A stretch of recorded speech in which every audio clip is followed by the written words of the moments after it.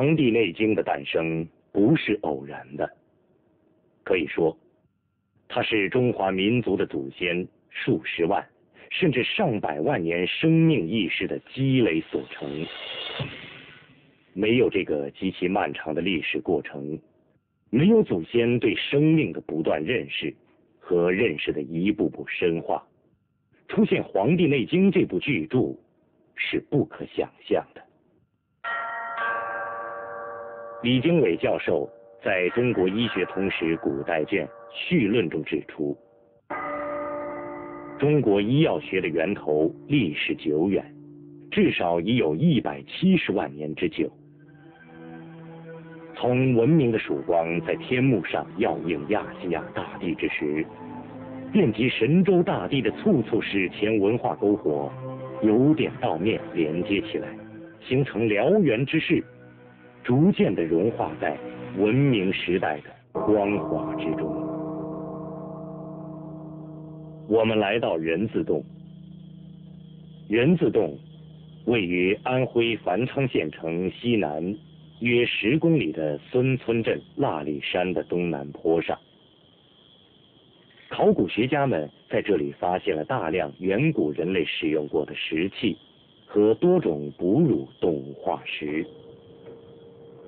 这一发现表明，在两百万至两百四十万年前，我国长江流域就已经有古人类的活动了。繁昌县文物管理所的汪发志先生向我们讲起了人字洞的发现过程。九八年五月一号的时候，就是他们赶到了繁昌，赶到了这个地方，因为这个地方毕竟是一个古生物地点。呃，五月一号赶到繁昌，然后当天下午就到了这个呃人工这个现场，爬到这上面来，就是呃先采集调查一下。呃，当天下午就是在四五点的时候，四点半左右，就发现了。几颗灵长类的牙齿，就是九八年下半年进行了这个第一次正正式的大规模的发掘，然后嘛就是呃九九年就是上半年下半年，二零零零年上半年下半年就总共进行了五次正规的发掘。那么在这个发掘的过程当中呢，发现了动物的化石，动物的种类是七十六种动物，动物的化石标本呢是六千多件。那么在这个动物的化石当中呢，比较重要的就是发现了大量的呃灵长类的化石。在长江中下游地区呢，是这这么这么这个数量众多的这么这种发这种发现呢，应该说首次突破。九月份发掘，在十月十五号的时候，发现了我们认为第一块真正比较典型的、比较重要的这种这这一块石器。呃，这个石器嘛，是一个是一个是一个石片，是用碎石打制打制成功的。那么然后就是从九八年下半年开始，然后经过了呃九九年、两千年的发掘，总共发现了一百多块。就是打人工打击的痕迹非常明显的这种石制品，还有嘛就是呃几十件呃非常典型的就是骨制品，就是用动物的骨骼加工成的这种工具。呃最典型的一件就是用犀牛的这种下颌骨制成制成的一个骨铲。从已发现的石器质量和哺乳动物化石的种类看，人字洞是中国乃至世界罕见的古人类遗址。是迄今欧亚大陆已知的最早的古人类活动遗址，它将人类在亚洲的活动历史上推了四五十万年。专家们认为，人字洞极有可能是欧亚大陆人类的发源地。这意味着我们民族的祖先可追溯到两百万年以前。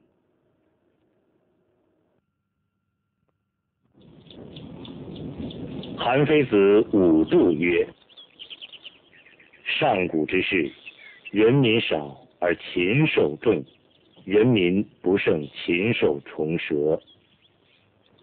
有圣人作，构木为巢，以避群害，而民悦之。时望天下，号之曰有巢氏。”韩非子笔下的有巢氏。实际上，就是与一百七十万年前云南元谋人相类似的我国南方地区的原始居民。如韩非子所说，这些地区禽兽多而人民少，所以迫使人们在树上构巢居住。有学者指出，这些地区的原始居民在相当漫长的岁月里，赤身露体的在危机四伏的苍茫原始林莽之中艰辛跋涉，整日面对原始自然的潇潇血气和无边的狰狞，他们顽强地抗拒着狂风暴雨、毒蛇猛兽，他们以集体的力量。以鲜血，以生命，向苍天索取生存的权利。我们的原始祖先面临太多的生存问题：饥饿、酷暑、严寒，特别是外伤，不仅发生在与野兽的争斗中，而且居住在树上本身也极容易造成创伤。这样。他们不得不考虑所面临的一系列生存问题，其中最直接的便是我们今天所说的医疗问题。我国先民早在一百八十万年前就已经开始使用天然火了。考古学家们在多处遗址中发现了古人类大量使用火的遗迹，而发明取火技术。则是人类的一次伟大进步。恩格斯对此评价为：就世界性的解放作用而言，摩擦生活还是超过了蒸汽机。人工取火是强有力的催化剂，它使人类最终从动物界分离出来，使人类从蒙昧跨入文明的大门。即使果瓜棒革，腥骚恶臭而伤妇胃，民多疾病。有圣人作，钻碎取火以化腥骚，而民悦之。时望天下，号之曰燧人氏。历史进入韩非子笔下的燧人氏时代，这大约与十万。到三万年前的旧石器时代中期至晚期相当，也有学者认为，废人氏时代约在五万到一万五千年前。王大有先生在其著作《三皇五帝时代》中写道：“燧人氏时代不仅发明了人工取火之术，同时。”我国先民辉煌的观测天象的历史也发端于这个时代。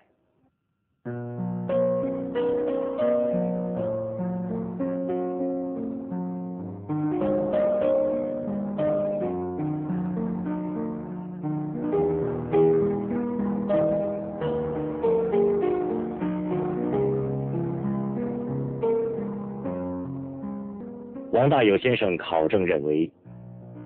中国古代传说中的河图洛书，正是燧人氏观天象的结果，并且由此确定了十月太阳历、天干纪历系统的雏形。古人观天象不是酒足饭饱后的游戏，它对于我国以农业为主体的先民来说，有着十分重大的意义。它直接关系到我国先民的生存及其生命的延续。正因为如此，我们的祖先开创了当时世界上最为发达的天文事业。当其他民族还迷茫在混沌之中时，我们的祖先已经对天穹的大量星象了如指掌。英国学者李约瑟指出。中国人在阿拉伯人以前是全世界最坚毅、最精确的天文观察者。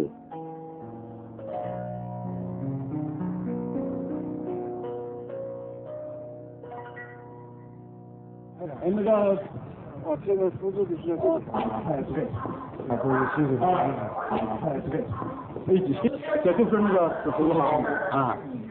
这个墓主人头南脚北。墓主的东侧用半块摆了个龙头案，西侧用半块摆了个虎头案。另外，在在这个地方一堆半块还有两根骨头，就现在搞天文的，就说这是北斗星，北斗，这是苍龙星的，这这是星。做的看显示出的就是六千四百六十年，公元一百三十五。大约在一万年，距今一万年的时候，就开始了有了原始农业。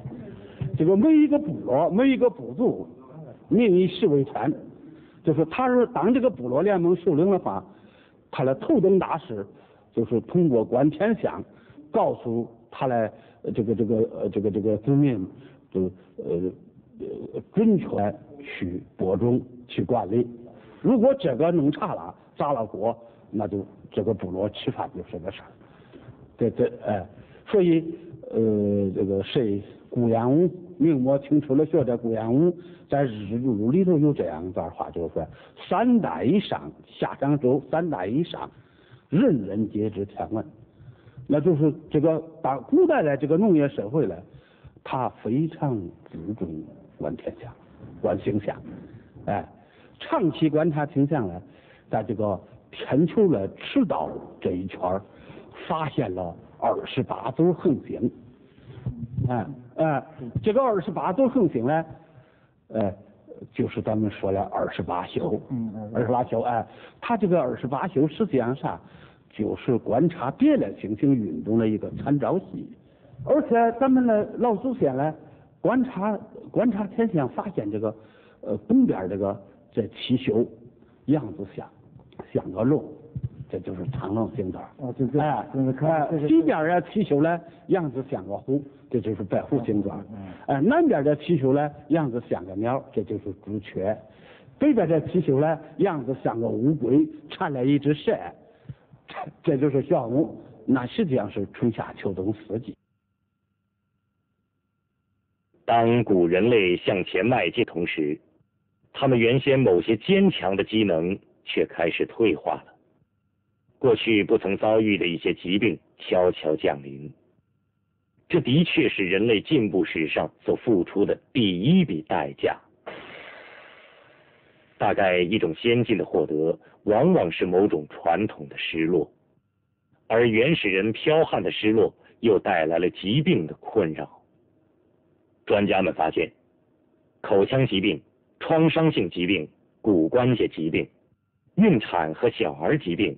普遍的蔓延于我国先民中间，于是他们用泥土、树叶、草茎涂裹创伤，用尖锐的石块刺破脓肿，于是石针、骨针、石刀、骨刀等出现了。拍摄中我们看到，我国的先民遗址中出土了大量的与医疗有关的用具。并且年代极其遥远，足以证明李经纬教授中国医药的源头至少已经有一百七十万年之久的断言。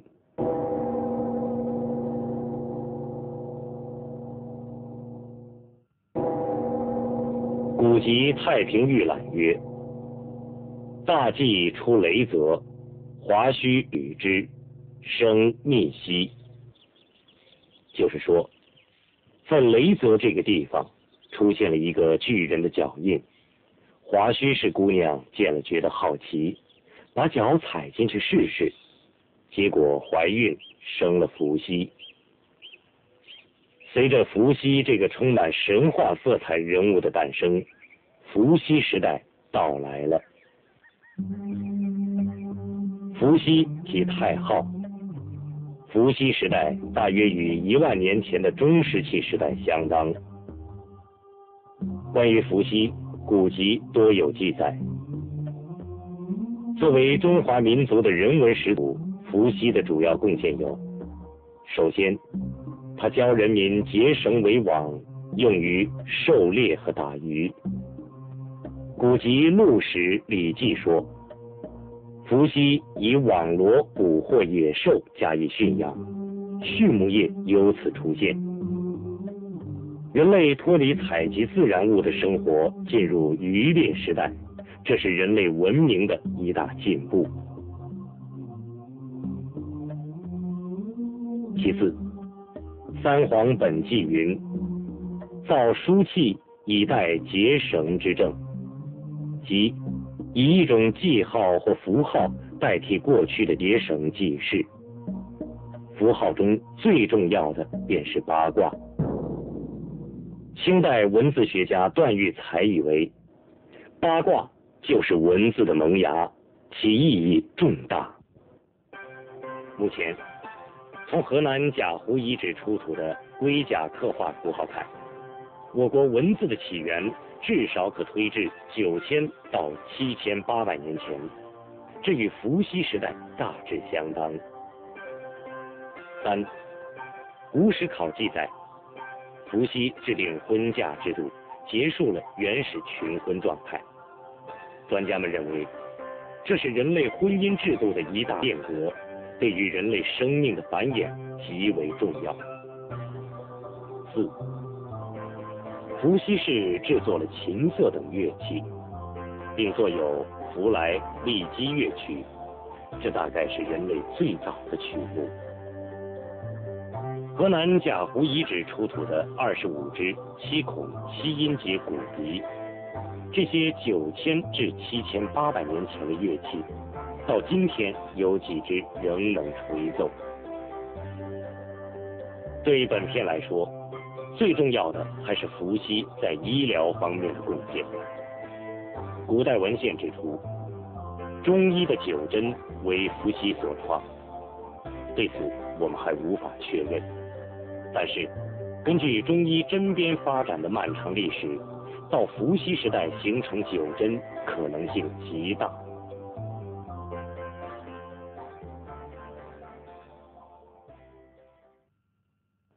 在春秋时代，河南淮阳属陈国管辖。鲁国的大学问家、大教育家孔子正在这里讲学。一天。一位渔夫在菜河中打鱼，不巧捞出一个长有双脚的人头骨。有人赶紧捧着他去请教孔子。孔子接过头骨，凝神片刻，突然震惊了。他说：“这是伏羲的头骨，他繁衍人类，功德无量，理应参拜。”说完，急忙把头骨放在岸上。枕冠胆臣大力参拜，在场的人闻言一齐下跪。后来，孔子又说服陈国国君选择了这块风水宝地，隆重安葬伏羲的头骨。四方百姓运来黄土修成墓冢，并在墓前建庙塑像，世世代代纪念这位伟大的祖先。我们来到淮阳太昊陵，即伏羲陵，正好赶上当地百姓祭祀伏羲的日子。据了解，每月的初一和十五这一天，四面八方成千上万的百姓涌向这里，自发的祭祀祖先伏羲。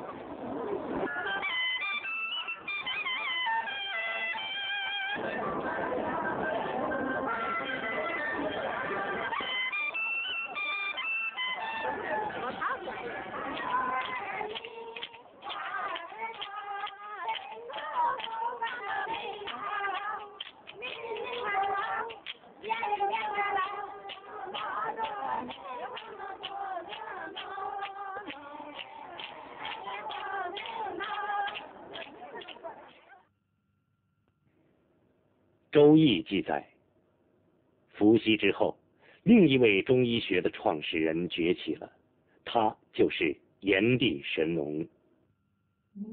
有学者认为，炎帝神农时代与仰韶文化相当，约七千至五千年前。炎帝神农氏最主要的活动地点应在长江流域。并认为神农氏是长江文明的旗帜。拍摄中，我们发现有关炎帝神农的传说，主要集中在陕西、河南、湖北、湖南一带，其他省份也有遗迹。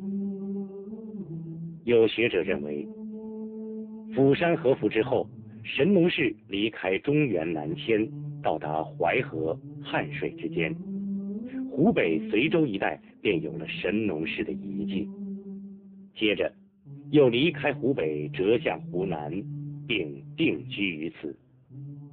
后世的屈家岭文化、楚文化由此出现。神农发明了木质农具，教给百姓耕地种田、收获五谷，开创了农耕事业。他用麻织出了布匹，教百姓制作衣服。他开辟了市场，百姓之间从此有了产品交换。他发明了木弦弓箭和冶炼斧头之类的工具等等。对我们来说，尤其重要的是，他开创了中医药学。《淮南子》记载，当时民间疾病以及中毒受伤的较多，为解除百姓的病苦。神农遍尝百草，分析其药性和各种水源水质状况，使人民懂得哪些是有害的，哪些是有益的。《搜神记》曰：“神农以者编百草，尽知其平毒寒温之性。”即神农氏编百草，分析了解其药性，这样。在陕西、河北、河南、湖北、湖南的大山里，处处可见神农高大而又疲惫的身影。为彻底了解各种草药的药性，神农不顾自己生命安危。淮南子记下了这段惊心动魄的日日夜夜。当此之时，一日而遇七十毒。一天中毒七十多次，这需要一种怎样的毅力，怎样的献身精神？不幸的事终于发生了。一天，他尝了一种叫断肠草的草药，顷刻之间，剧烈的毒性便摧毁了他的血肉之躯，夺去了他的生命。